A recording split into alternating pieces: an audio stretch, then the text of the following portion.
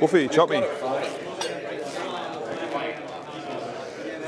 Thanks, buddy. Did you end up proposing to her or not? You've got the ring.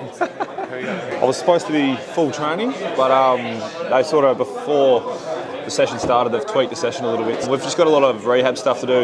Um, Blackie and myself have had shoulder operations at the end of last year, so uh, we've just got a lot of tackling and um, contested work we've got to get through to make sure that we can get back into skills and get back into it. It's pretty handy to have someone in the same position as you are with a shoulder injury, so we have to pretty much do exactly the same work together, so it gives you a partner to do it with, which is good. Stop, stop Whoa, whoa, whoa. Are they pumas? Says Fabregas. You've got a big whitehead right there. Sit on there too, bro.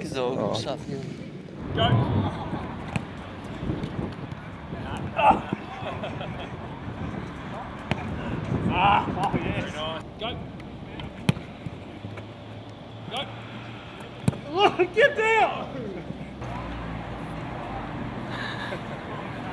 One, two, three, four. Get through him, Blakey, get through him. Good tackle, James.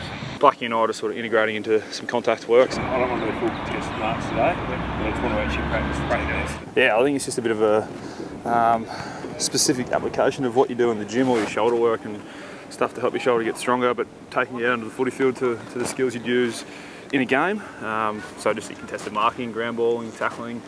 Do I miss the contact? Um, yeah, oh, it, I think I miss not being able to do every session and do the game sense drills in throughout pre-season. It's been pre-season's a, a long, hard slog, and I think um, when you don't do every session, you almost feel a bit guilty. So when you miss, you see all the boys running around out there getting flogged, you sort of almost feel a bit guilty that you're not quite doing it all. Um, so in that aspect, you you sort of do miss a bit of the contact and definitely the skills and the training and stuff like that. This week I'll train um, with the guys. I'll work my way through Feb into a bit of contact. But come March, I should be uh, ready to go. So it'll be exciting.